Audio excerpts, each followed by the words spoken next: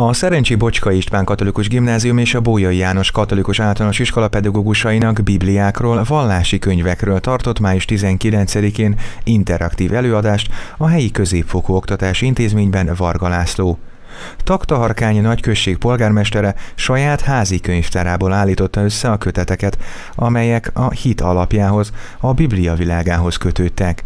A ránk maradt összefüggő biblia fordítások közül az első az 1400-as évek derekán készült.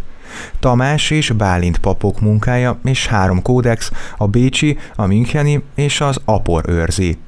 A könyvbemutatón résztvevők megismerhetik Gutenberg 1452-ben megjelent 42 soros bibliáját. A Bambergben kiadott 36 soros bibliát, melyből mindössze 13 maradt meg. Varga László bemutatta a Jordánszki kódexet, a Párizsi Hórás könyvet, a Nekcsei Bibliát, a Flamand kalendáriumot, a Missál kódexet, Baja Béla Biblia kódexét, valamint az elmúlt évtizedek szebbnél szebb faximile és reprint kiadványait.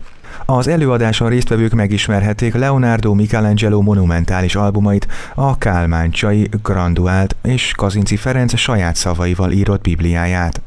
A közel egy órás beszélgetés végén természetesen nem maradhatott ki a 2011-ben megjelent Bécsi Biblia sem, amelyről Erdő Péter bíboros, prímás, Esztergomi budapesti érsek a következőket mondta. Nyugodt szívvel állíthatom, hogy ez a könyv minden idők legszebb magyar nyelvű bibliája.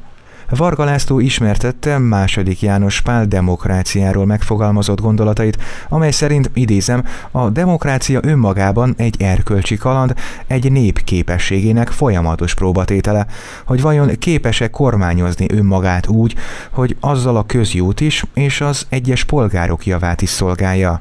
A szeretetről a következőt mondta a pápa az ember képtelen szeretet nélkül élni. Magányos lény marad, aki érthetetlen önmaga számára, az élete értelmetlen, ha nem kap szeretetet, ha nem talál szeretetet, ha nem tapasztalja azt meg, és nem teszi magáévá, ha nem vesz benne személyesen részt. Az előadás végén Varga László megköszönte Darvas László plébános úr szolgálatát és a pedagógusok oktató nevelő munkáját.